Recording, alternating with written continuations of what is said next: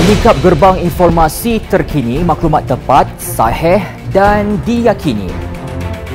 Kami sajikan berita dalam dan luar negara. Kupasan berita merentas dimensi tanpa sempadan. Bukan itu sahaja, berita eksklusif dan inklusif juga menjadi keutamaan kami. Kami hidangkan suatu perspektif berbeza untuk membuka mata anda. Info tetap kami berikan tanpa perlu anda cari. Hanya yang terbaik buat anda. Lima hari seminggu setiap hari pada jam 6.45 petang.